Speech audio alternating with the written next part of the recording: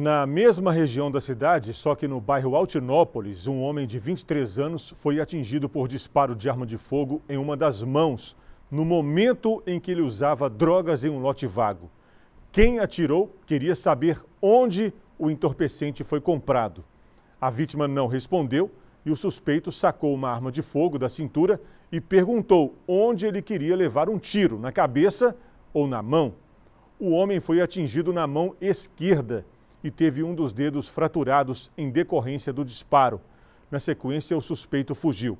A vítima foi socorrida e levada para o Hospital Municipal de Governador Valadares.